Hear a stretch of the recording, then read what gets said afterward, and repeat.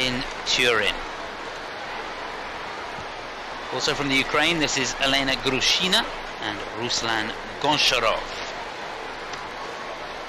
Currently ranked fourth in the world rankings. Third in Europe.